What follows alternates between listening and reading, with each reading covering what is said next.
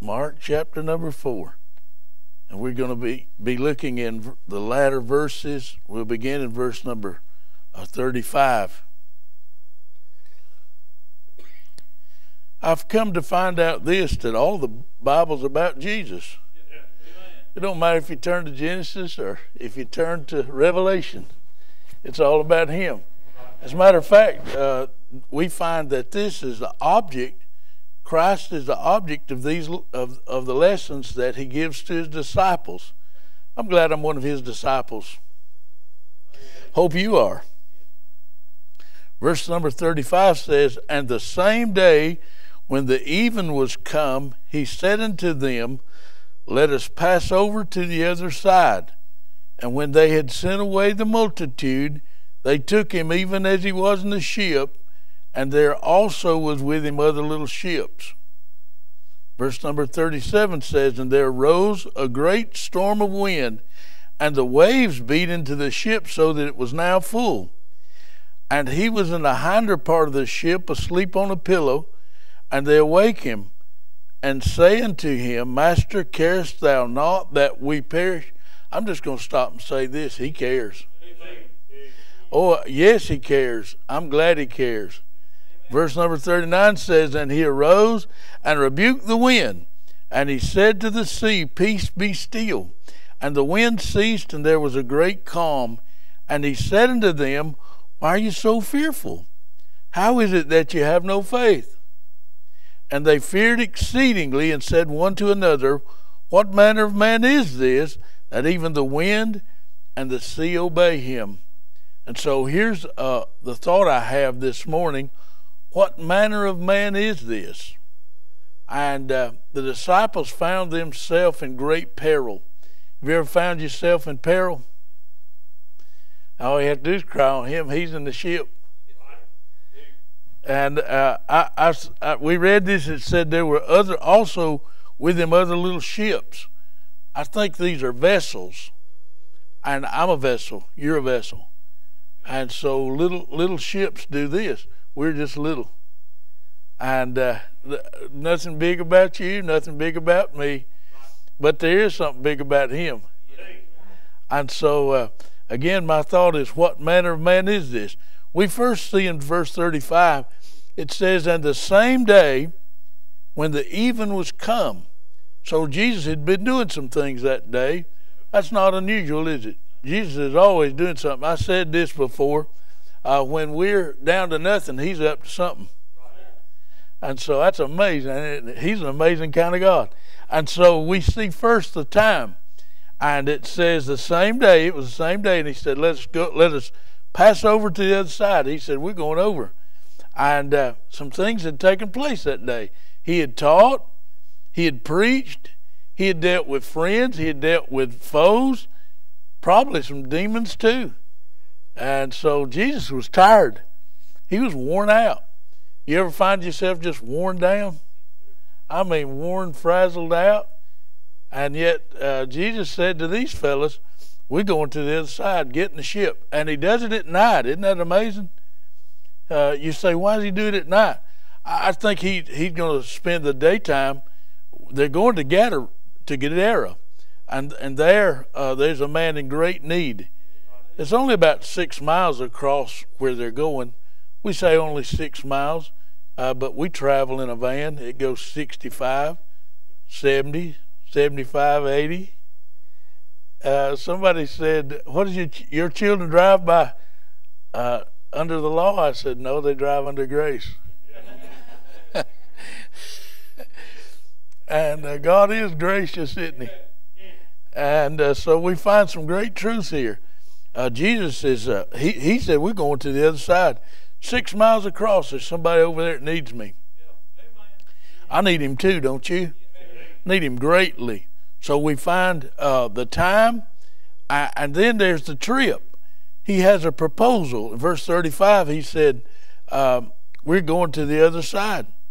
So, so um, he knew where he was headed.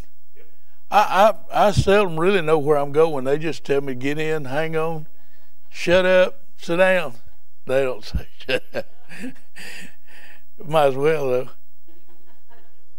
and uh, so uh, Jesus made this proposal. He said, "We're going to the other side."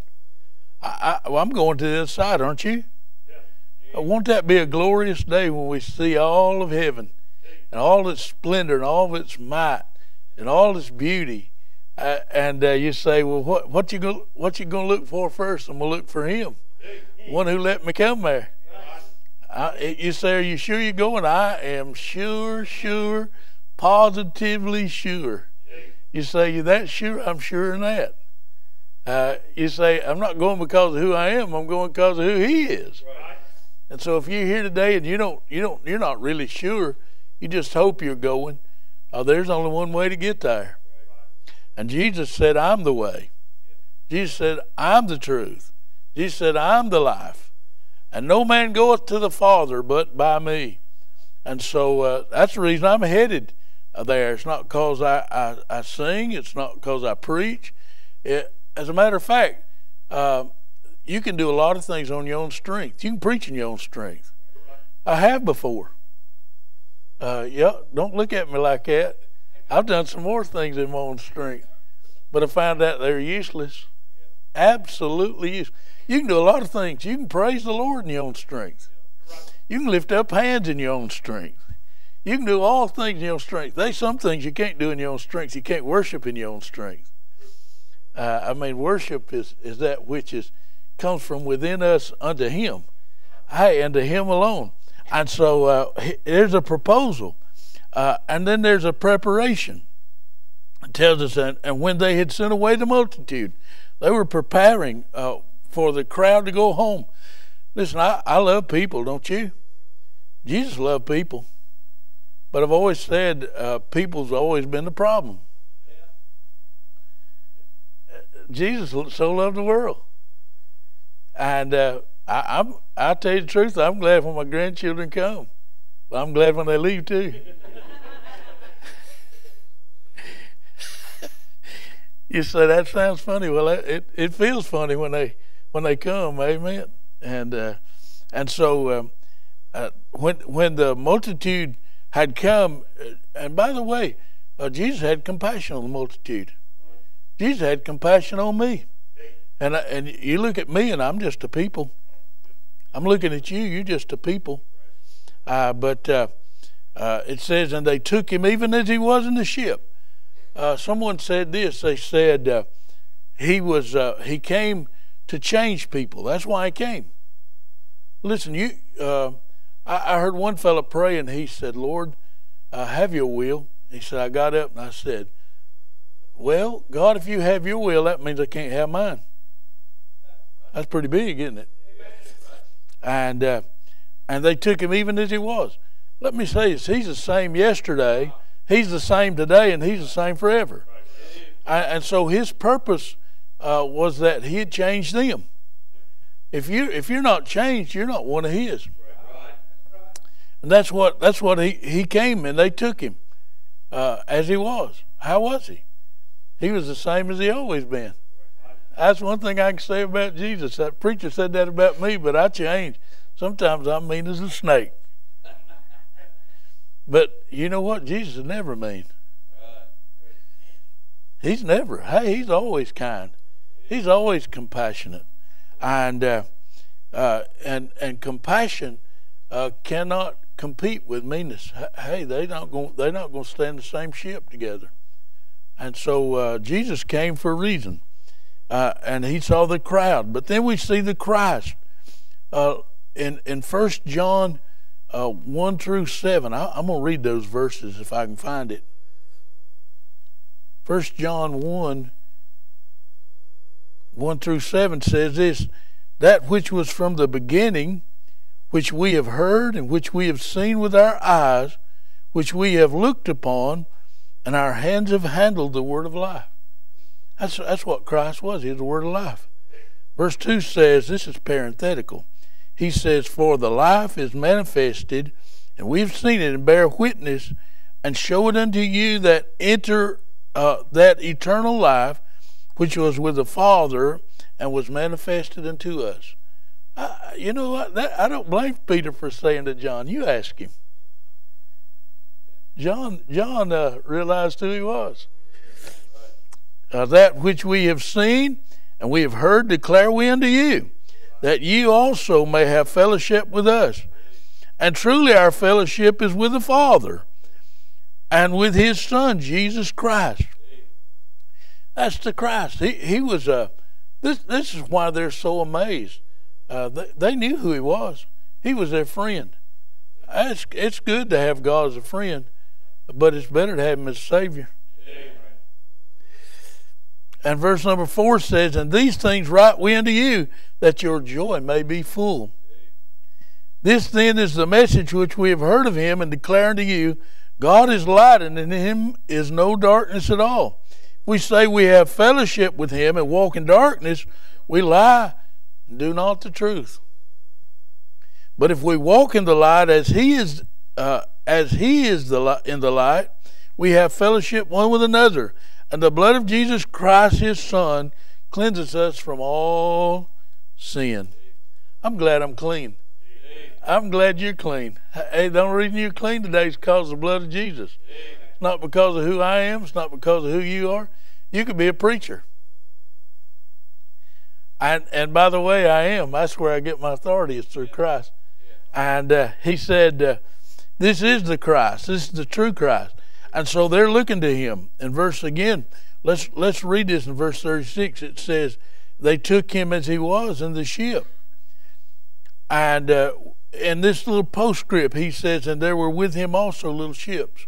I already mentioned that. I there's got to be a message there somewhere. I mean, the Lord just don't put it in there. He's put it in with a purpose, a reason, a plan. He, he's got a plan for your life. Hey, he's got a plan for my life. And you know what that plan is? I can tell it to you right now. It's to follow him. He knows what's best. He knows when it's good. He knows when it's clear. You say it's rain outside. Well, that's all right too. He knows how to stop the rain. Or he knows how to give more rain. Whatever's needed. So so we see the trip. Uh, God had a plan. Uh, he had preparation. And then we see the tempest. This wasn't just a storm, this was a great storm. It says in verse 37 there rose a great storm of wind. I, I don't really know uh, much, but I do know this that a great storm comes once in a while. Uh, we we were in a we were in um, the the inside the end part of Tennessee sometime back, I believe a tornado touched down. Say, what'd you do? I slept. I said, he's awake and he's watching after stuff. Ain't no need for me to stay up and worry about it. That's that's the way it is. Hey, hey, he'll take care of stuff. If I'd have gone to heaven, I'd have been all right too. You say, how how uh, how does that work? Like this, uh, a great storm came. And it, it, it, was just not an ordinary storm, it was a great storm. Now, uh, these, these fellas, they had let Jesus on board, uh, and they believed this. And, and you can believe this too. They, they had uh, worked, some of them had worked all their life as fishermen. They knew the ins and the outs of that water. They knew every, uh, I don't know how you say that in Kentucky, but I'd say every nook and cranny. And uh, they they knew where they was at, and they they they were amazed that Jesus uh, was with them. Aren't you amazed? That, sometimes it just amazes me. I, am amazed at who God is and what God's doing. Uh, and it said this was a great storm, and it arose. And sometimes they uh, storms. They tell me storms on that body of water just come out of nowhere. Uh, it's just it can be a pretty day, and all of a sudden there's a storm. Sort of sounds like your life, doesn't it? I mean, we're just going along and everything seems to be going good. All of a sudden, there's a storm, and it's a and sometimes it's a great one. Sometimes it's a little one. By the way, it doesn't matter if it's great or if it's little. God can take care of it. It said the waves beating the ship so that it was now full. Now, uh, I don't know about uh, you, but what happens when a ship fills up with water? Sinks. I mean, it goes down. But Jesus is not, he's not worried about it. He's no pillow. One fellow asked me, he said, Do you think that pillow floated? I don't think it did. I, I think uh, uh, that Jesus was in the same peril as these guys were in. Except he wasn't in peril. He said, We're going to the other side. He already told them that in verse 35. Listen again. He said, Let us pass over to the other side. He knew his time had not come. You remember at the wedding of Cana of Galilee? He said, uh, he said to Mary, she said, Do something. He said, My time's not yet. What was he talking about? I think he was talking about his death. Uh, it was it's appointed unto men. Hey, listen, God knows when you're going to die. Right. I like what one preacher said years ago. I heard him say this. He said, uh, um, he, he said, uh, statistics point out that one out of one people die. I mean, it's just the way it is, is you're going to die. And, uh, and God knows when it's going to be. I don't know. I'm glad I don't know. Aren't you glad you don't know when you're going to die? I don't know what I do. I, I, I, I guess, but uh, God knows exactly when when it's going to happen, and how it's going to happen, what's going to take place. Maybe in a car wreck, maybe natural death. What is natural? My mom was 93 years old. She cut down in the flower of her youth. She said, I'd love to just lay down one night and wake up in heaven. That'd be all right, wouldn't it? That's pretty much what she did. She sat down in the chair, and the, the doctor said she had a massive stroke and died. She had taken care of all of her business. She she knew what was going on around her, and uh, I, I so, that may not be your case. My pastor was a great man. He had a great mind, but he died with Alzheimer's. Uh, I, I, knew some other preachers that had great minds, but they died with Alzheimer's. Why did they do that? That's because that's what God wanted. That's what God planned. That's what God purposed. Uh, my pastor um, pastored the same church. I don't know how long your pastor's been here, but he had been at the same church 30 years and he retired and uh, said, I'm, I'm going to preach all over the place. Well, it wasn't six months till he couldn't even preach. That's, that's what happens sometimes, and God knew that. Uh, it was a great storm for him, but for God, it was just what God planned. And uh, these fellows said there's a great storm wind. Waves beating the ship, so it's now full. And uh, so we see the storm in verse 38. We see the state, the Savior. It says, and he was in the hinder part of the ship, sleep on a pillow. And they awake him, and they said unto him, Master, carest thou not that we perish? I, I, I said this earlier. I'm going to say it again. Jesus cares. Uh, matter of fact, the Bible tells us precious is the death is in the sight of the Lord. So uh, one day I, am going to die. I'm going to perish, but but not today. You say, how you know not today? Because I'm right here. He, he's a set, he set this up. He said we're going to have revival. That's what he told us. He said we're going to have revival. And uh, one day, one day I won't, but today I am. And uh, he said, "Care us not that we perish." And so we we see uh, that the that they were concerned. The Savior was concerned, and uh, he he was he's so concerned he's asleep. I think it points out his great humanity. Did you know this? Jesus was man, hundred percent. He feels. He knows what you're going through. He knows what it's like to be tempted. You ever been tempted? Sure you have. I'll answer that for you. Sure you have. And uh, and and have you ever failed? Sure you have. You're going to fail. Um, but God knows how, to, how you can overcome it. You, do you have any little pet sins that just keep bothering you? I mean, just keep coming up and keep coming up and keep coming up. The Lord knows how to take care of those. And uh, and so we see the Savior. Uh, here's a tempest, a storm, and in the midst of the storm, a Savior. I'm glad He knows what you're going through. He knows exactly where your heart is. Uh, he knows what's going on in your life. He knows all about you. There's a tempest, the trip, the time, and then we see transformation. Verse 39 says, He arose and rebuked the wind, and he said to the sea, That's amazing, isn't it? He rebuked the wind. You know why he rebuked the wind? Because the wind's what was causing the waves the wind, as a matter of fact, if you, if you go, it may be a little deeper than that. and and I can't get very deep. I can get about ankle deep. That's about it. But I, I think this is demonic. matter of fact, uh, you're going through uh, uh, spiritual trials. This is spiritual warfare, and we don't even we can't even see it. Isn't that amazing? We, this is warfare that we can't even see. Uh, where's your sword? It's right here. Where's your Where's your shield? It's faith. And so he said, uh, there rose. Uh, he arose. He rebuked the wind, uh, and he said to the sea, "Peace, be still." Here was a raging great storm. All of a sudden, it's transformed into a, into a, from a lion to a kitty cat. That's that's how that's how we describe it. It was a roaring lion. Matter of fact, Satan's a roaring lion seeking whom he can devour. He's he's after you. He's after me. And uh, and if he catches me, if he catches you, he catches Christ. And uh, I like what one preacher said. He said, "I'm in the hand of the Lord, and uh, and if he gets to me, he's got to get through Christ. And if he gets through Christ, he'll be saved." That'd be a saved devil. You say it can't happen. No, it can't happen. Uh, he, he's a he's an angel. He's a fallen angel. Angels can't be saved, but you can.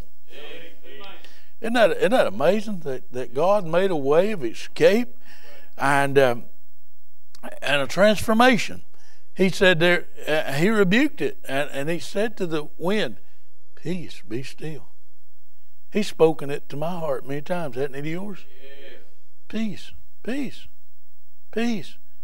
Uh, I, I, made this. I mentioned this earlier. He he is a uh, he's a peace speaker. If you if you're going through times of great trouble and trial, he'll give you peace. And and then he says, uh, uh, in this storm, he rebuked it. I, I would see the sailors. Verse 40 said, and he said unto them, Why are you so fearful? Now how is it that you have no faith? You know what I found out? I found out you can't have faith, you can't have fear and faith together. It just don't work. You you got to trust something. As a matter of fact, uh, many times we put our trust in objects, don't we? Uh, preacher, you, you swim across the water? Flew. Trust the pilot. That's an object. Oh, uh, there's a lot of things we trust. We trust the bank. How many's got some money in the bank? I got a little. but I still trust the banker. You say, I, I asked him one time, I said, Are y'all, are y'all solid? Are y'all solid? He, and she said, Yes. The next day, another bank bought him out. She said, I didn't even know it. So it, we put our trust in the bank, don't we? We put our trust in objects. And yet many times we fail to trust God like that. If you can if you can trust people, can't you trust God? He's worthy. Hey, he's worth it. And uh, he said unto them, Why are you so fearful? They were afraid. You ever been afraid? And that's because you don't have you don't have faith. That's what he asked these fellows. He said, Don't you have faith? They had faith in the ship. That's why they went out in it. You ever been out in a boat? I trusted the boat wasn't going to sink. I still put on a life jacket, though. he said, Why are you so fearful? How did you have no faith? Where, where, do you have faith today? And I mean, I'm talking about faith in the Lord. He'll take care of everything. Uh, we, we, we worry about. I, I, my wife's got this sticker on the refrigerator. Y- y'all put magnets on your refrigerator. Got this sticker on there that says, "I know I know where it works because ninety percent of the things I worry about never happen." That's about right, isn't it? We worry about stuff that don't make any, it don't don't amount to anything. Uh, but these fellows, they they were afraid, and and then. Uh, we see their the transformation, then we see their terror, uh, the reality of it. Uh, that's what he was talking about. He said, and they feared exceedingly. Uh, and then he said, uh, uh, what manner of man is this? Which one of the disciples said that? Who you think said that? Don't tell us, does it? I've said that though, hadn't you?